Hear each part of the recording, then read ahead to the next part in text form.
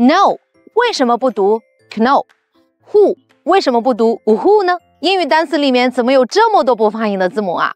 怎么去快速记忆呀？今天李玉老师教你一个小口诀，搞定单词里的不发音规则。这个口诀就是九个组合是一家，其中一半是哑巴。在这九个字母组合里面，有一半的字母都是不发音的。第一个 k n 开头，k 不发音就读嗯 ，no knife。第二个 r h 开头。h 不发音就读 r rhythm rhino。第三个 w r 开头 w 不发音 right wrong。第四个 w h 开头 h 不发音 y white。那如果 w h 遇到字母 o w 不发音，比如说 whose who。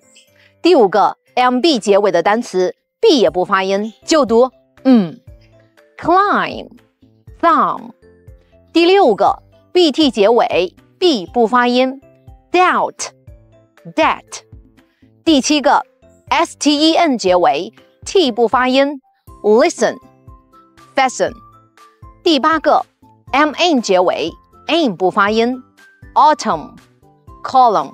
最后一个 s t l e 结尾，t 不发音，castle。whistle，你都学会了吧？